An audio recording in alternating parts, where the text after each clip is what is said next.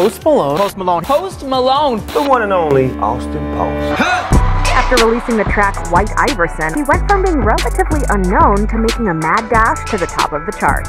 This is just my modest four times platinum plaque. How does it feel to have basically our entire YouTube career and views on one video? It happened so fast. I don't even remember when we put the video out. Just like I shot a video today and we just knocked it out in one day and then put it out and it just Yeah, he might be one of the newer acts that shows some signs of having some staying power. He has shown the ability to continue to produce that White Iverson potential. Every song I listen to, I'm like, yo, I feel that. You know what I mean? I want to talk about on the Breakfast Club, one of your the first interviews you did. What are you doing for the Black Lives Matter movement? what? They kind of came at you in a really yeah. shitty way. No more passes for Post Malone. You're done. You put your hair in cornrows, you threw some gold in your mouth, you did a song called White Iverson. It worked for you, so now you're like, oh, let me stay in this lane for a while. That's when they're coming for you. That's the big move. That's checkmate right there. And they think they have you. Rapper Post Malone, he was stuck at high altitude for hours today. A safe landing five hours later here in Orange County. I hate flying. Post Malone just cannot catch a break. Post Malone's white Rolls Royce went through the hedge and that chain link fence after he was T-boned by another driver. Rest in peace, Lil Peep. I love you to death. He was really like such a good guy, such a talented dude, and he was gonna change music forever, and it sucks, dude. This dude just died, and everybody takes it as a, a prime opportunity to shame people who may have issues with drugs. Whew, that intro gave me the shivers. If you guys enjoy those epic intros, let us know by hitting that like button right now. Now Post Malone, he's at a meteoric rise to fame. Shortly after starting out on SoundCloud and building a buzz with his single White Iverson, well Post Malone has become one of the biggest superstars in modern music. Now whether you know him for his face tattoos or for his hit records, the name Post Malone, it rings a bell for music fans of all ages. I mean, for the love of God, my mother even knows who he is. Now, the man is only currently on his third album. As much as it may look like it happened overnight, well, Posty's success, it was built over years of experimenting with different sounds and all types of music.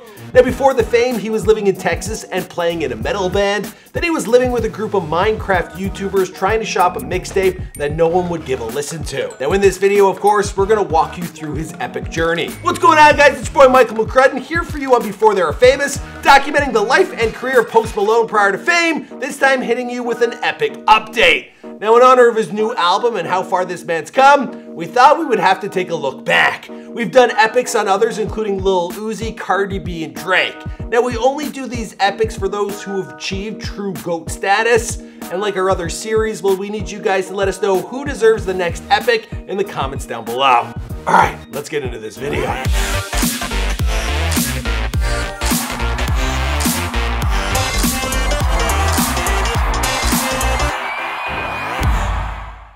I just want to make music that I like. Yeah. You know, and I'm I'm lucky that people like the music that I like as well. You know what I mean? So I mean, it just kind of worked. You know, I just want to make music that it makes me happy at the end of the day. Now, Post Malone, he was born Austin Richard Post on July 4th, 1995 in Syracuse, New York. He was raised by his father, Richard Post. Yeah, that's his real name. Also his stepmother, Jody. Little did Rich know that his son would one day become the richest Post in the family. Now, music had always been in the family with his father having worked as a DJ for local events where he would play all different genres of music. Now, this influenced Austin to love all different types of music, everything from Bob Dylan, Kanye West, Biggie, Hank Williams, and everything in between. And no, I'm not talking about that little Hank Williams. Don't get those two confused. Now the family, they moved to Grapevine, Texas when he was 10 years old because his dad got a new job. Now Grapevine, it has a population of around 50,000, but like it says on their official website, it's always a great time in Grapevine. Now Austin's father, he got a job as the assistant director of food and beverages for none other than the Dallas Cowboys football team at AT&T Stadium. Now of course this job, it came with some perks for his son like free tickets for Cowboys games, and who can forget the unlimited food and drinks. Now Austin, his birth mother, she also moved to Texas to be closer to his son. Now in his teenage years, before playing a real instrument, well Post, he fell in love with Guitar Hero. He mastered the expert level on every song, so he decided the only logical next step, well, was to pick up a real guitar. I started making music like, I guess I was 12. I started playing Guitar Hero. Mm -hmm. And you know, they got to a point where I'm expert you can only exceed to a certain point. And so, you know, I was like, let's play real guitar. Let's not waste no more time. Now, post mom, she got him a guitar for Christmas and he began to learn, but it wasn't as easy as he'd hoped. How similar was Guitar Hero to playing a regular guitar? It was horrible. The transition was awful.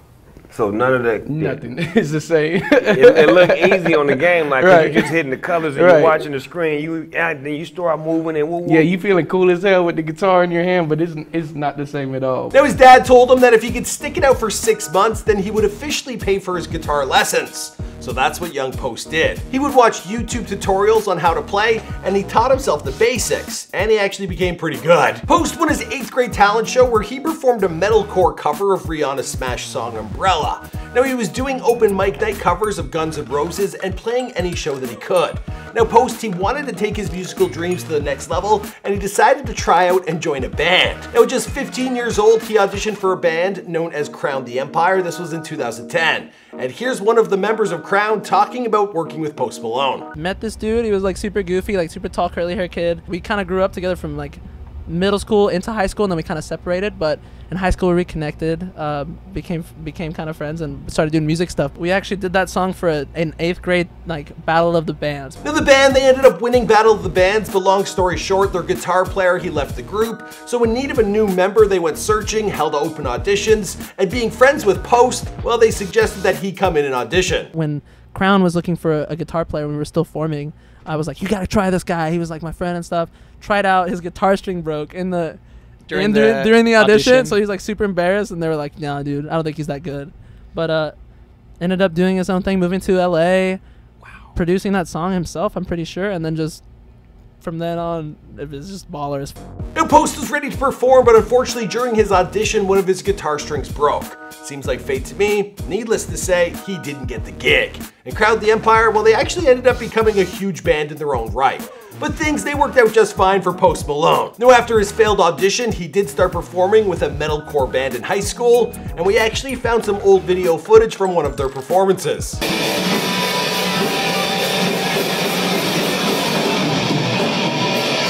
Yeah, pretty different from the soft melodies you hear on his albums today. But after a short stint in metal, well, he then transitioned into making softer rock music.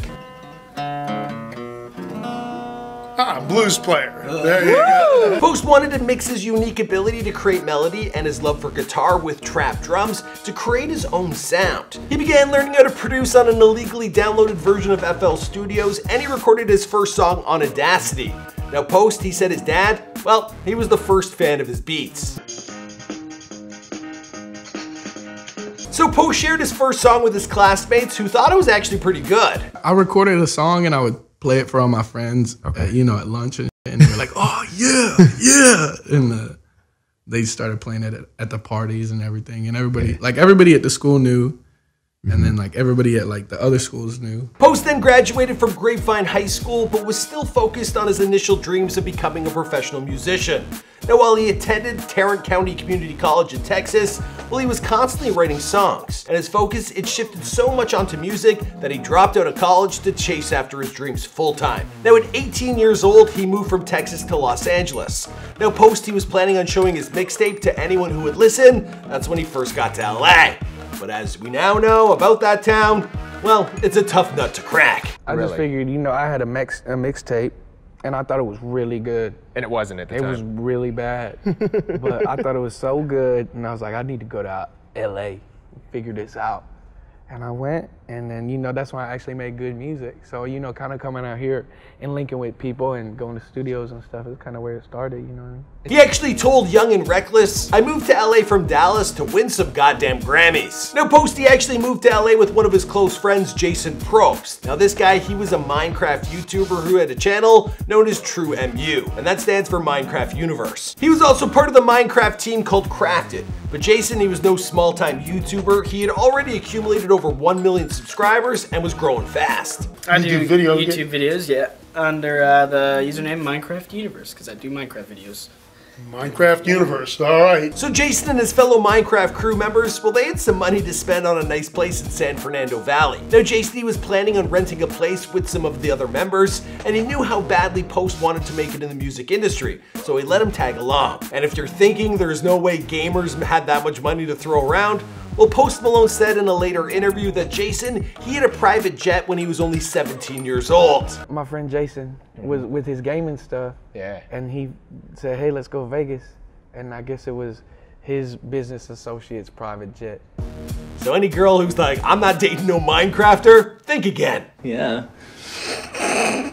Now when they got out to LA, the group, they would make content online, and in some of the videos we'll post, he would cover songs for their audience. And being a good sport, well young Posty, he also got in on their skits. Trevor? You alright? You okay?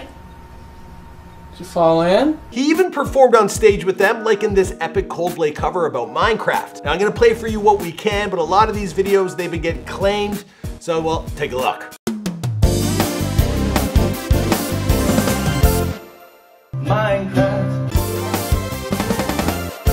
It was likely around this time that he now posted this now infamous video, which a lot of people might think he's embarrassed by. Well, Post actually said it's something he's super proud of. It was you walking out my door. You said you loved me just moments before. Why'd you lie? What the heck? That video cracks me up, but honestly, I got some embarrassing videos from when I was trying to be a rapper myself, so I get it. Maybe I'm not the sharpest tool in the shed. Next to you, I'm Albert Einstein. This getting through to your head? Now, Post has gone on to say that he was just joking around when he made that video, and uh, well, it really helped out when we made his before they were famous. So, Post, thanks a lot. When I tried to sit down and write the song, I wanted to write the best song ever written by humans. Now, Post, he wasn't making any money while he was crashing with his pal, and nothing, it really happened for Post in the first year of being in LA. And Post guitar, well, then it even got stolen one day, so things weren't looking good. Uh, well, uh, we drive uh, like a suburban, and uh, someone broke into the back and stole the back seats without And- us knowing. And a guitar. And and his guitar. Now, Post, he was anxious to start recording his real tracks, and he wanted to make a new kind of music that he was actually proud of. Now, he was working with a group of friends, and he knew someone at a studio, so finally he got some studio time. Now, this is when he was first introduced to First from FKI. Now, First heard Austin's voice and knew that Post had a lot of talent. Now, the two, they ended up becoming good friends and working on a lot of music together, but Post, he needed a direction for his music and a new image. That's when he got his hair braided, he got some gold grills and some ice after being inspired by AI. I ain't talking about no robot. I'm talking about one of the NBA superstars, one of Post Malone's all-time heroes, good old Allen Iverson. I had to give me some braids, bro. And you know, pay tribute to the homie, bro. You know what I'm saying, bro? With No, no, no. Now, in terms of his name, at first he said he came up with it just because it sounded cool, but he later admitted that the name actually came from a random rap name generator. So I decided to use the same generator myself, and I got Old McCrudden. Michael Adana and Dirty Face Michael. Again, my rapping days are way behind me. One day you crashed, my limo fell off. Now, it could have been a worry that nobody would take him seriously as a white boy with cornrows and gold teeth, but the music, it spoke for itself. Now, Post Malone, he now had a new name. He wrote the song White Iverson, and FKI, he made the beat at 7 a.m., and they recorded it together. Now, White Iverson, it was the first song Post Malone ever released to the world under his new name. Yeah. It's just like I didn't plan on releasing it anytime soon either, but it leaked somewhere. It was uploaded to his SoundCloud account in February of 2015, and to say the song blew up, well, that would be downplaying it. Now the song, it got an initial boost from First, posting it to his SoundCloud, but people really caught on and loved the song. Now White Iverson, it had 7,000 streams overnight, but before long, the song, it had hundreds of thousands of plays, and then soon, it had millions. Even Complex's Pigeon and Planes, they posted his early work and directed a ton of traffic towards it. And then Post, well, he had celebrities like Wiz Khalifa and Mac Miller telling him how much they loved his music. See, when I wrote it, I didn't know that people was gonna f- with it like as much as I did, like because I was like it was kind of like different, like from what everything I did before. But um, whenever I recorded it, I just thought it sounded Dope. Yeah, he woke up to all this one fateful morning. It's just crazy to wake up and and see everything popping off right before your eyes. You know what I mean? Now, Posty went to South by Southwest and made a name for himself within the industry, but the next step was to shoot a music video for his hit song. Now, he wanted to shoot a video for White Iverson, but he only had $5,000 left in his bank account. So he borrowed some money and a Rolls Royce from a friend, and he went out to the desert to shoot the video. Now, the song, the timing, his look, and his talent, well, everything clicked perfectly, and today the video is close to a billion views on YouTube. So it's safe to say he made that 5K back. Then we ended up performing at Kylie Jenner's birthday party later that year, and James Harden, he knew all the words of the song. He also met Kanye West at the same party, which led to him being on Kanye's Life of Pablo album. Now Post signed with Republic Records and he toured the world with Justin Bieber, even stirring up some controversy when they got into a little scuffle on the road. But the two later clarified that they were just joking around. Now Post, he has of course had to deal with some controversy regarding cultural appropriation. But Post seems he just wants to keep to himself and make the music he likes to make. Now since his initial hit, well Post Malone, he's gone on to become one of the biggest stars in music. Now his stats, they speak for themselves with seven top 10 hits on the Billboard Hot 100 chart and three number one singles on the chart for Sunflower, Psycho, and Rockstar. Now the latter became his most successful single yet, going eight times platinum. And with his new album, well, I'm pretty sure more are gonna come. His tattoos have also increased a lot since his success, tatting always tired below his eyes. Now as for Posty's love life, well he seems to be in a happy relationship, but recently asked his fans not to post about who he is dating. She's been with him for a long time. She's really she's really awesome. Yeah. You know, like she is like the most supportive person in my Mhm. life, and you know, uh, there's been times where I was just like, ah, and you know, she's always been there. What a guy. I mean, he found fame and fortune, and he kept the same girl by his side. That's a, that's a true gentleman. You know what I mean? Now, I'm not sure if they're still together, but he has made some close ties and lasting relationships with a few other influencers. I'm talking H3, H3, and Nelk. Who knows? Maybe one day I'll get a kick it with Post. We actually do have the same jeweler for our grills. Good old Toronto grills. For real. All right, guys, I think I'm getting a little off topic, so we're gonna wrap this one up. As for the rest of the story, well, I guess we'll have to wait and see because this, of course, is before they're famous. Epic style. All right, guys, I hope you enjoyed this video. We put a lot of extra work into making these epic biographies. This channel's been hit pretty hard. A lot of our videos have been claimed, like 50% of the channel. Also YouTube, it's more crowded than ever. So we really appreciate all of you guys who tune in on the regular, those who subscribe, turn on post notifications, join as a channel member. That's, that's the best you can do for us. And uh, well, thank you so much. And uh, Post Malone, one of the biggest stars in the world. I wonder who we'll be doing next. You gotta let us know down below.